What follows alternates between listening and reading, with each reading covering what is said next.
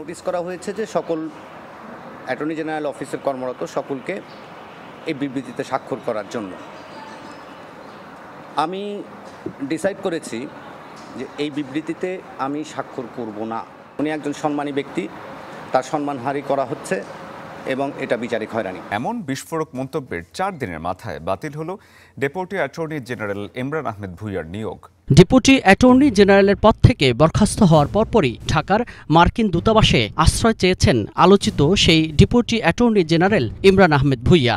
ইতিমধ্যে সপরিবারে ঢাকার মার্কিন দূতাবাসে গেছেন বলেও জানান তিনি। আপনি এখন কোথায় এবং কেন এসেছেন? আছি ভাই যে যতটুকু ভালো থাকা যায় আছি। বিভিন্ন রকমের অপতৎপরতা গুলো ছিল। সেগুলো আসলে যে কোনো সময়, কেবল আমার না, আমার সম্পূর্ণ পরিবারের উপরে আঘাত আসতে পারে। আর তাই আমি এখানে আশ্রয় প্রার্থনা করছি।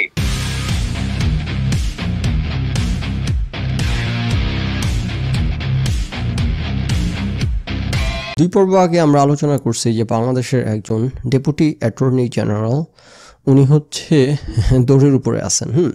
বাংলাদেশের সাবেক প্রধান বিচারপতি যেরকম দেশ ছেড়ে পালাইছে সরকারের ভয়ে, যে একইভাবে ডেপুটি অ্যাটর্নি জেনারেল উনি এই মুহূর্তে সরকারের ভয়ে পালিয়ে বেড়াচ্ছেন। কেন? কারণ হচ্ছে উনি মনে করেন যে ডক্টর মোহাম্মদ ইউনুসের সরকার যে বিচার করতেছে, এটা হচ্ছে পক্ষপাত দুষ্ট এবং হচ্ছে এটা রাজনৈতিক উদ্দেশ্য প্রণোদিত। এটা আমরা সবাই জানি ইজ দ্য কেস, ওকে? প্রশ্ন হচ্ছে, যেটা গত পর্ব আলোচনা করছি, আজকে আবার একই প্রশ্ন আলোচনা করতে হবে এবং উত্থাপন করতে হবে যে উনি একজন সরকারি চাম্বাজ হয়ে উনি কেন এই হঠাৎ করে সেই বোধ হইতে গেল মানে? ঘটনাটাই কেন? সমস্যাটা কোথায়, হুম? এখন আপনি বলতে পারেন যে আপনি কেন ওনাকে সরকারি চাম্বাজ বলতেছেন? আপনার কাছে কি প্রমাণ আছে? উনি সরকারি চাম্বাজ হইলে কি উনি সরকার বিরুদ্ধে অবস্থান নেয়? আর কতবার বলব, এক কথা পুরান কথা। সোনার বাংলা হচ্ছে বাই ডিজাইন এবং বাই ডেফিনেশন একটা কি দেশ? অসভ্য দেশ হ্যাঁ ওকে সো বাই ডেফিনেশন এই দেশে কেউ সরকার দলীয় চাম্বাজ না হইলে এই উপরের পদগুলোতে আসতে পারে না। অসম্ভব আশা। এটা সিস্টেম সম্ভবই না। সিস্টেমটাই এখানে সম্ভব না রাইট সো উনি এই পদে আসছেন মানে আই ডিজাইন এবং বাই ডেফিনেশন আপনি আমরা জানি যে উনি একজন সরকার দলীয় চাম্বাজ। আপনি যদি, তারপর যদি আপনার মনে কোনো সন্দেহ থেকে থাকে উনি সরকার দলীয় চাম্বাজ কিনা রাইট যে ওনার প্রোফাইলের দেখেন অবস্থান ফটোতে দেখা যাচ্ছে জাতির জনক বঙ্গবন্ধু শেখ মুজিবুর রহমান এবং জাতির জনক বঙ্গবন্ধু শেখ মুজিবুর রহমানের সুযোগ্য কন্যা। শুনতে পাচ্ছি উনি নাকি চট্টগ্রাম বিশ্ববিদ্যালয় ছাত্রলীগের সভাপতি ছিলেন। চট্টগ্রাম বিশ্ববিদ্যালয়ের সভাপতি। কোনো হলটলা বিশ্ববিদ্যালয়ের সভাপতি ছিলেন হ্যাঁ? পসিবল কারণ নাইলে উনি এই পদে আসতে পারতেন? তো উনি কোনো ইয়ে না নীতি আদর্শের জায়গা থেকে বা সরকার বিরোধী বা ইনফিল্ট্রেটর বা এমন কিছু না। উনি একবার পরীক্ষিত সেনানী প্রশ্ন হচ্ছে, কেন উনি এইসব কথা বলতে গেলেন? দেখেন, আমার একটা থিওরি আছে রাইট আপনার কি থিওরি আপনি আপনার থিওরি মনে মনে ভাবতে থাকেন, আমি আমার থিওরি দেওয়ার আগে আর মেবি কমেন্ট করে ফেলেন। আমি আমার থিওরি দিই। কমেন্ট করলে তো আপনার সাথে আমার থিওরি না মিললে আবার ডিলিট করে দিবেন। খুবই সিম্পল থিওরি দেখেন, এটা আমি শিওর অনেকের সাথেই মিলবে। অলরেডি অনেকের মাথায় চলে আসার কথা। আপনি যদি সোনার বাংলাকে চিনে থাকেন এবং এদেরকে চিলে থাকেন এই মলগুলোকে, কোথাও কোনো একটা পদ পদবি নিয়ে কোনো একটা দেনা পাওনার মধ্যে কোনো একটা খুট খাট হয়েছে। কোথাও মন মতো কিছু একটা পায় নাই, যেটা প্রত্যাশা করতেছিল। হয়তো একটা প্রমোশন পায় নাই, কোনো একটা পদ চাইছে পায় নাই। কোথাও একটা খেদ, অনুযোগ, দুঃখ, পরিতাপ আছে আর কি, সেই কারণে সংস্কারপন্থী মারাইতে গেছে, আছে না?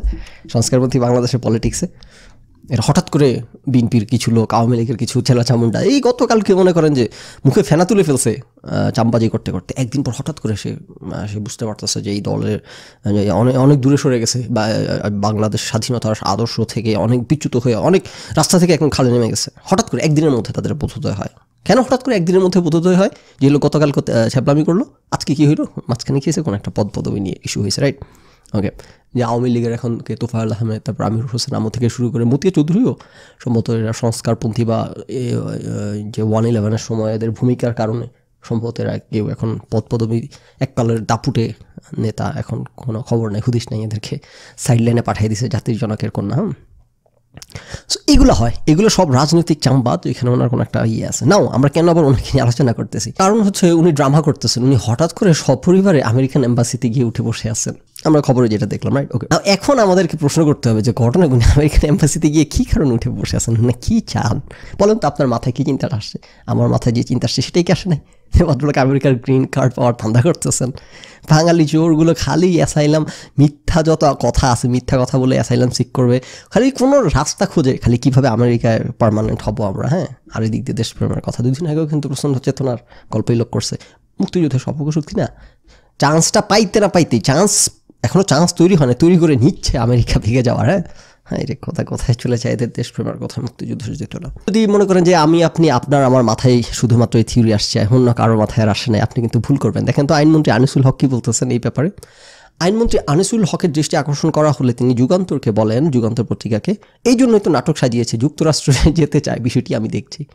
যুক্তরাষ্ট্রে যাওয়ার নাটক সাজাইছে। তার মানে আমরা সকলে এই ব্যাপারে, আইনমন্ত্রী আনিসুল হক থেকে শুরু করে ফখরুল ইসলাম থেকে শুরু করে অডিয়েন্স আপনি, আমরা সকলে মাথায় প্রথমে চিন্তাটাই আসছে যে ধান্দাবাজ আমেরিকার গ্রিন কার্ড সিটিজেনশিপটা পাওয়ার ধান্দা করতেছে অ্যাসাইলাম সিকিং করে এটা হচ্ছে আমাদের সবার number one theory number two theory দেখেন, ওই যে যেভাবে আলোচনা শুরুতে আমরা আলোচনা করলাম, যে ভদ্রলোকে স্টেটমেন্ট দিয়েছে দেয়ার ইজ নো ওয়ে যে ওনার, হঠাৎ করে ওনার ন্যায়নীতি নিষ্ঠা জেগে উঠছে, অন্য কোনো ব্যাখ্যা আছে এটা হ্যাঁ? কোথাও একটা চাম্বাদি আছে ওকে একইভাবে আর কি অ্যাম্বাসিতে যাওয়ার সেকেন্ড কোনো ব্যাখ্যা নেই। এটা কিন্তু একেবারে মিশিয়ে থাকতে পারেন।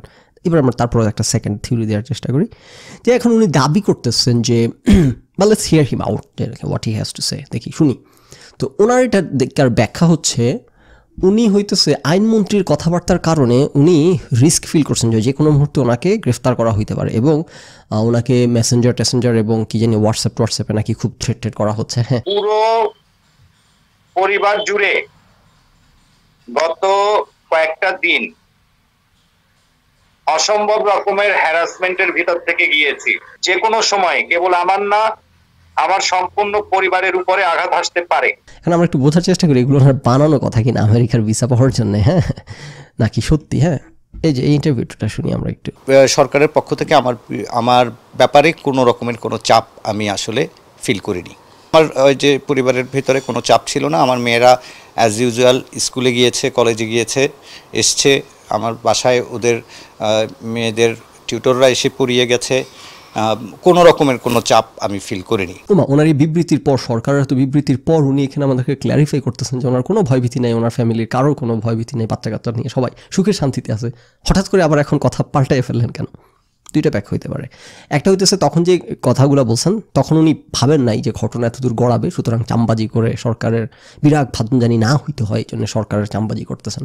হয়তো ট্রেটেড খাচ্ছেন, খাওয়ার কথা। হ্যাঁ ভীমরুলের চাকে ঢিল মারছেন। অবশ্যই নানান রকম ট্রেটেড খাওয়ার কথা। কিন্তু অস্বীকার করতেছিলেন যে সরকারের গুড বুকে থাকা যায় কিনা সেই আশায়। সো এটা হতে পারে। আর অথবা থ্রেড খান নাই। এটা হতে পারে না। সেটা অবশ্যই খেয়েছেন এগেন ভীমরুলের চাকে ঢিল মেরে তারপর আর এখানে ইয়ে করার কোনো উপায় নেই। কোনটা কথা সত্য? আমরা অলরেডি ইনকনসিস্টেন্সি দেখতে পাচ্ছি। দুদিন আগে এক কথা বলছেন, এখন আরেক কথা বলতেছেন। দুইটা তো একই সাথে সত্য হতে পারে না। সো উনি কোথাও একটা মিথ্যা কথা বলতেছেন। নাও এই যে উনি ঘটনাটা ঘটালেন আমেরিকান এম্বাসিতে গিয়ে উঠলেন, এই জিনিসটা নির্বাচনকে সামনে রেখে এটার কি ইমপ্লিকেশনস থাকতে পারে? এটা কি কোনোভাবে বিএনপি ক্যাশ ইন করতে পারবে বা বিএনপির পক্ষে যাবে? দেখেন, এগুলো খুবই মাইনর ঘটনা। আপনাদের বিএনপিপন্থী চাম্পাজ দালালগুলো এগুলোকে ব্যাখ্যা করে এমন এ থেকে জিতে নিয়ে দৌড় দিয়ে চলে যাবে যে হ্যাঁ এতে এখন এই কারণে আমেরিকা হইতেছে ইয়ে পাঠাবে তাদের এয়ারফোর্স পাঠাবে তাদের কি জানে নেভিকে পাঠাবে বাংলাদেশ দখল করে নিতে এরকম থিওরি দেওয়া শুরু করে দেবে। হ্যাঁ ইয়েস এটা একটা এলিমেন্ট যেটা হইতেছে বাংলাদেশের কি পরিস্থিতি সেটা পশ্চিমের কাছে আরেকটু স্পষ্ট করবে। মানে এর আগে কি এটা স্পষ্ট ছিল না? যে দেশের প্রধান বিচারপতি অ্যাসাইলাম নিয়ে আমেরিকাতে আসে সেখানে আমেরিকার আর জানা বাকি আছে এই দেশের কী অবস্থা এখন? ডেপুটি অ্যাটর্নি জেনারেল এম্বাসিতে গিয়ে সাহায্য চাওয়ার মধ্য দিয়ে আমেরিকাকে জানতে হবে? আমেরিকা জানে না। আমেরিকাতে প্রধান বিচারপতি অ্যাসাইলাম নিয়ে বসে নাই। সো বিন পেলার এমন একটা নাটক শুরু করবে যেতে করে দুনিয়াটা ওলট এবং পালট হয়ে গেল। আর কি জানি সুষ্ঠু এবং নিরপেক্ষ নির্বাচন ইস কামিং আসিতেছে এই ঘটনার কারণে ইয়াস এটা একটা ছোট এলিমেন্ট হিসেবে কাজ করবে যে নির্বাচনের সামনে দেশের কি অবস্থা, এটা বিদেশিদের সামনে। আরেকটু স্পষ্ট হইল, এবং এগেন এটা আগে থেকেই তাদের সামনে যথেষ্ট স্পষ্ট। তারা যদি কোনো ভূমিকা না নেয়, এটার জন্য এই যে এই ঘটনা কোনো পার্থক্য তৈরি করবে না। এবং যদি ভূমিকা নেওয়ার ডিসিশন হয়, তাতেও এই ঘটনা কোনো পার্থক্য তৈরি করবে না। তারা খুব ভালো করেই জানে এই দেশে কী চলে কথা হচ্ছে তারা কোনো ভূমিকা নিতে চায় কিনা রাইট সো এই সব ছোটোখাটো ছোটোখাটো বিচ্ছিন্ন ঘটনাকে হাইপ তুলে একেবারে হাসপানে নেওয়া মানে অনেকে নিবে আপনারা সেখানে যাইতে পারেন, সমস্যা নেই, নিষেধ করতেছি না। তবে এই ঘটনাটা একটু ইউনিক যে এখানে উঠছে, সেটা হচ্ছে যে ভদ্রলোকের ইস্যুটা ডক্টর মোহাম্মদ ইউনুসকে কেন্দ্র করে। ডক্টর মোহাম্মদ ইউনুসের পক্ষে কথা বলতে গিয়ে উনি হইতেছে আজকে বিপদ পড়ছেন, পরে সাহায্য চাচ্ছেন আমেরিকার। না এসব ক্ষেত্রে কিন্তু আমেরিকার পলিসি আছে, জেনে থাকবেন। যারা আমেরিকার কজের পক্ষে কাজ করে, আমেরিকা কিন্তু তাদেরকে অ্যাসাইলাম দেয়। এটা তাদের আইন, তাদের তাদের দেশের, তারা বাধ্য দিতে। এখানে তো অবশ্যই আমেরিকার কজের পক্ষে সরাসরি কিছু উনি করতেছে তা না। আলটিমেটলি আমেরিকার কজের পক্ষে যায়। ডক্টর মোহাম্মদ ইউনুস যেহেতু আমেরিকার সাথে ভালো ফ্রেন্ডস কি জানি নোবেল লরিয়েট এবং সারা পৃথিবীতে অ্যাক্সেস আছে অল দ্যাট স্টাফ এবং যে কারণে যে আফগানিস্তান যখ থেকে যখন আমেরিকা চলে যায়, তখন আফগানিস্তান থেকে কিন্তু হাজার হাজার লোক নিয়ে গেছে যারা হয়তো আমেরিকার পক্ষে কাজ করছে আফগানিস্তানে। পুতুল সরকার যে ছিল আমেরিকার পাপেট সরকার, তাদের পক্ষ হয়ে যারা কাজ করছে বেসিক্যালি আমেরিকার ইন্টারেস্টের পক্ষে, আমেরিকা আইন অনুযায়ী আমেরিকা তাদেরকে অ্যাসাইলাম দিতে বাধ্য। হাজার হাজার, বিশ ত্রিশ হাজার লোক আমেরিকা নিয়ে গেছে। না নিয়ে কোনো উপায় নেই, এটা তাদের আইন। তো আমি বলতেছি যে এক্ষেত্রে আইন প্রযোজ্য না হইলেও এখানে সরাসরি উনি আমেরিকার কজের পক্ষে কাজ করতেছে না, কিন্তু আপনি তাদের পলিসিটা তাদের আইডিয়াটা যদি বোঝেন, তার মানে হয়তো সে এটা একটু এক্সক্লুসিভ ইন দ্যাট যে ডক্টর মোহাম্মদ নিউজের পক্ষে কথা বলতে গিয়ে আজকে উনি বিপদে পড়ছে সো সেটা আমেরিকার কজের পক্ষে খুব পরোক্ষভাবে যায়। মানে এটার জন্য আমেরিকা বাধ্য না ওনার টেক কেয়ার করতে। এবং আমেরিকা সেই টেক কেয়ার সম্ভবত করে নাই। লেটেস্ট নিউজ আমরা দেখতে পাচ্ছি যে গতকাল রাত সাড়ে এগারোটার খবর দেখতে পাচ্ছি আমি এই ভদ্রলোক হইতেছে বাসায় ফেরত গেছেন। ভদ্রলোক হইতেছে একটা গাড়িতে করে মাইক্রোবাসে করে বের হয়ে বাসায় ফেরত গেছেন অ্যাম্বাসি থেকে। না এম্বাসিতে উনি যখন গিয়ে উঠছেন, তখন কিন্তু আজকে আমার এখানে শুক্রবার ইয়েস তার মানে বাংলাদেশে হ্যাঁ ওকে শুক্রবার রাত ছিল, ঠিক আছে। এম্বাসি বন্ধ ছিল, উনি ভদ্রলোক এম্বাসি দিকে উঠে ঢুকতে পারেন নাই, ওনাকে ওয়েটিং রুমে বসতে দেওয়া হয়েছে, পরবর্তীতে নাকি ভিতরে বসতে দেওয়া হয়েছে। তো উনি কিন্তু, দেখেন, আমরা এই ব্যাপারে মোটামুটি নিশ্চিত থাকতে পারি, উনি একটা ধান্দা করতেছিলেন এই চান্সে আমেরিকার গ্রিন কার্ড পাওয়ার রাইট সো ওনার ফিরে আসার কোনো কারণ নাই। একমাত্র কারণ হচ্ছে, উনি গ্রিন সিগন্যাল পান নাই আমেরিকান এম্বাসির কাছ থেকে। আমেরিকান এম্বাসি থেকে সম্ভবত বলছে যে, আপনি বাসায় চলে যান গ্রিন কার্ডটা পাচ্ছেন না এই এই যাত্রায় হ্যাঁ পরে ট্রাই করেন আবার হ্যাঁ। ওকে সো উনি সম্ভবত গ্রিন সিগন্যাল পান নাই এবং এই কারণে ফিরে গেছেন। আবার আরেকটা অবশ্যই হতে পারে সরকারের পক্ষ থেকে, এটা যেহেতু সরকারের জন্য এটা অপটিক্স খারাপ হয়, এই কারণে সরকার নানান কিছু বুঝে টুঝে নিয়ে গেছে, বের করে এখান থেকে আনছে।